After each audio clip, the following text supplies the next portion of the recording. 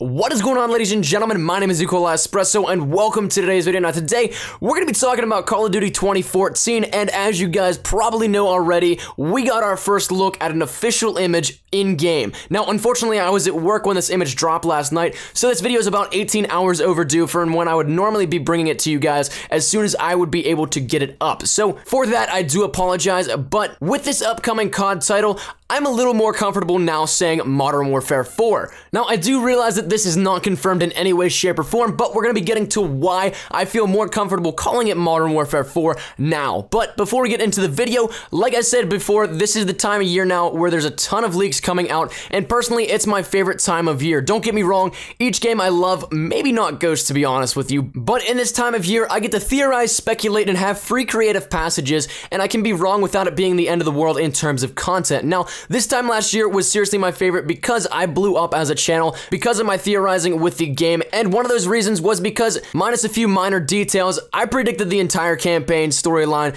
months before launch. So I don't mean to brag with that, but that's something that I do feel accomplished by having done, and I feel the need to share around. So that same type of thing is going to be happening this year on my channel in the next couple months here. But getting back on topic, yesterday we got our first look at Call of Duty 2014. No, it wasn't huge. No, it wasn't anything too revealing and no, it wasn't anything too special, but it was part of the next Call of Duty game. That itself is what's cool. It was confirmed that this is an actual in-game shot from the next Call of Duty title. Now, whether it's a pre-rendered screenshot or actually something in-game that we just took from, say, a capture card screenshot, that's still unknown, so it is possible that the graphics will have as much detail as this, but at the same point in time, it's not as well. Now, for those of you guys that do not know, Call of Duty 2014 is slated to be a next-gen first game, and that means that Sledgehammer is primarily focusing on Xbox One, PS4, and PC over the other consoles. Now, High Moon Studios is rumored to be porting the game to the Xbox 360 and PS3. Now, you may be asking why.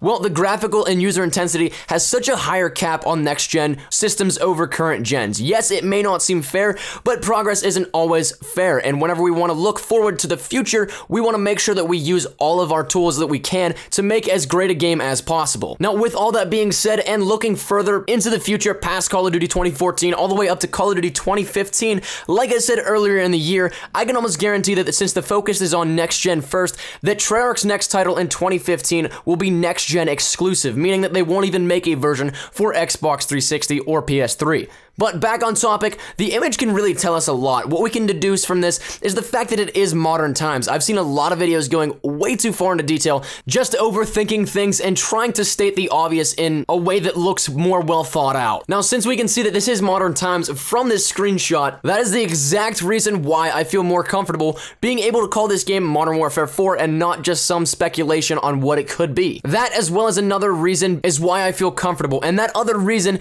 is that whenever I throw this image up on screen now, comparing the one that we were just teased yesterday to the one of Sergeant Foley from Modern Warfare 2, well, they're identical. Now, if you remember back to the Modern Warfare campaign, Foley isn't KIA or MIA. He's alive and well, and he can easily be brought in for one more campaign. And just as a little refresher for those of you guys that don't remember the Modern Warfare 2 campaign or didn't really play it, in Modern Warfare 2, Foley and his men were in a last stand at the White House. They were under siege by the Russians, and Price's EMP was crucial in their survival. Now, him and his men got out of there just in time before the entire complex was bombed to clear out all the Russian forces. Now, that being said, they vowed to get revenge on the Russians. So, where can that leave us to bring Sergeant Foley into the next campaign? Now, Foley can easily be used as a main character. If he finds out that Makarov wasn't the only bad guy on the playing field, I can almost guarantee that he'd be up for tracking down Shepard. And for those of you guys that don't know, I'm referring to the theory of Shepard being the lead antagonist of this upcoming game,